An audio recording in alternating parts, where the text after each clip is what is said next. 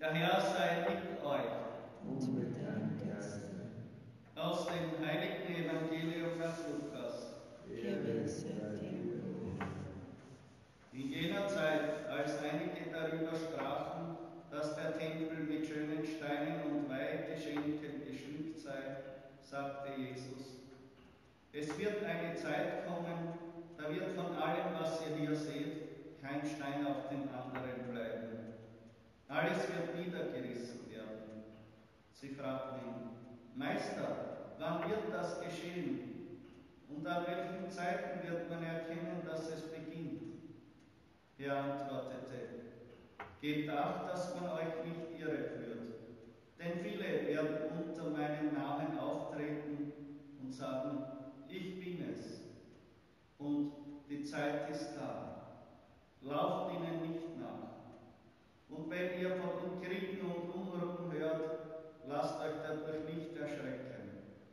Denn das muss als erstes geschehen. Aber das Ende kommt noch nicht sofort.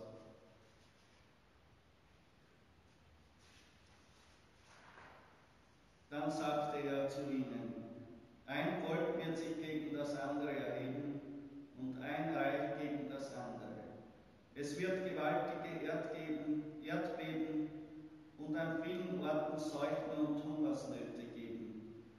Schreckliche Dinge werden geschehen und am Himmel wird man gewaltige Zeichen sehen. Evangelium unseres Herrn Jesus Christus. Lob sei dir, Christus.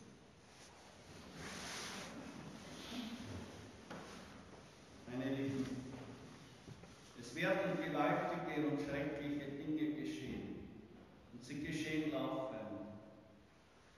Nur bei uns kaum medial wahrnehmbar, denn es ist ein großer Filter, der verhindert, dass viele Informationen erst gar nicht zu uns gelangen.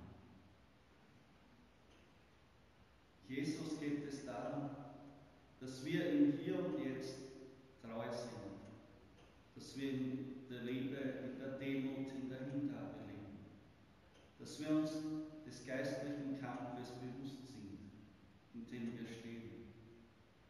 Und dass der Feind gewaltige Anstrengungen auf sich nimmt, um diese Welt ins Wanken zu bringen und die Menschen vom Glauben abzubringen. Für uns ist wichtig, dass wir die Ruhe bewahren, dass wir im Gebet, in der Heiligen Messe, in den Sakramenten, in der Heiligen Schrift und vor allem auch in einer guten christlichen Lebensführung ihre, unsere Zuflucht finden. Und vor allem die Gottesmutter Maria. Sie ist die mächtige endzeitliche Frau, die uns in der Offenbarung des Johannes geoffenbart ist, die der Schlange den Kopf zertritt, die unbefleckte Empfängnis.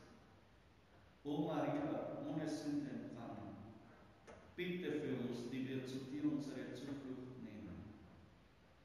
Sie ist die Siegerin über alle feindlichen Mächte, unsere große Hoffnung.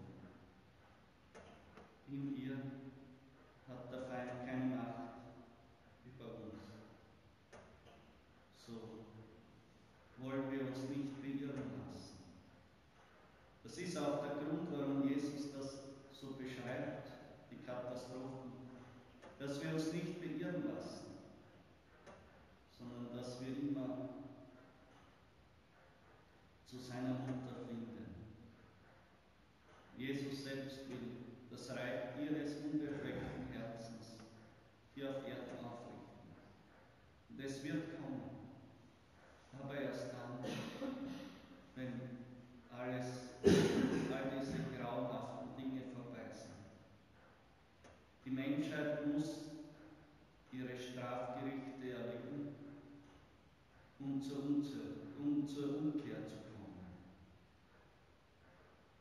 Für uns ist wichtig, dass wir treu im Glauben bleiben, dass wir uns durch nichts aus der Fassung bringen lassen und unseren Weg gehen bis ans Ende.